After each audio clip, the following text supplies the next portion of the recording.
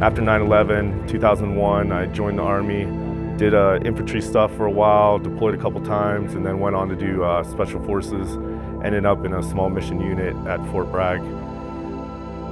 I am the owner and founder of Rest Float Solutions here in downtown Colorado Springs. Also a 16-year medically retired Army vet and a co-founder of a nonprofit called uh, Coast to Coast Foundation.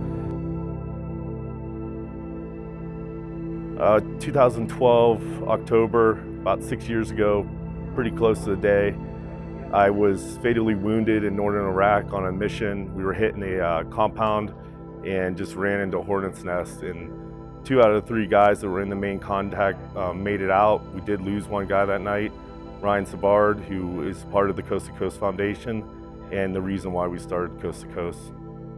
Uh, after that, you know, going through physical therapy and surgeries, you know, about 30, 40 surgeries by the end of it, by the end of the year, and just kind of working through issues. And really the only thing that was helping me was getting back to yoga, meditating, working out, eating healthy. Uh, so I was looking for alternative means and just so happened we were doing some training up at Virginia Beach with some Navy SEALs and one of my bosses told me about these float tank things and he really didn't know much about it. He actually told me that it's something that, you know, it's really good for your body and it's weightless. There's a lot of salt, it's super buoyant. I'm like, oh, what the heck is this?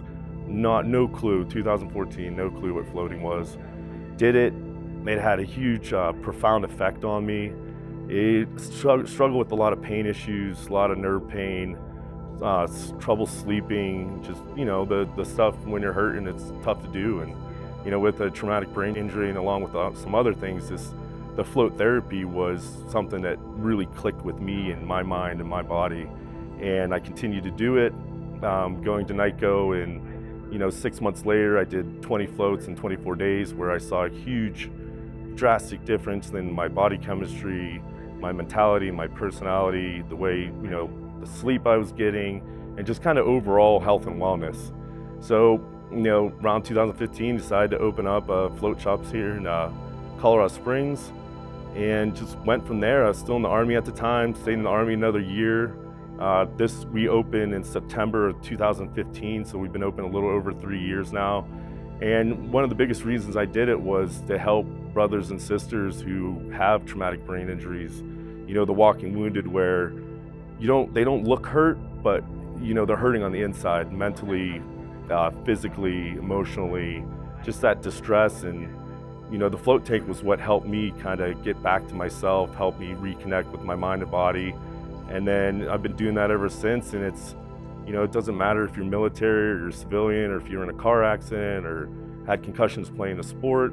We, we help and work with everybody from police to firefighters to, you know, Green Berets on base there to the infantry guys. We have lots of people coming in from all over the place. It's great seeing people progress and get healthier and seeing that color and life come back in their face and getting back into the things they, they used to love to do that their, their injuries were keeping them from doing.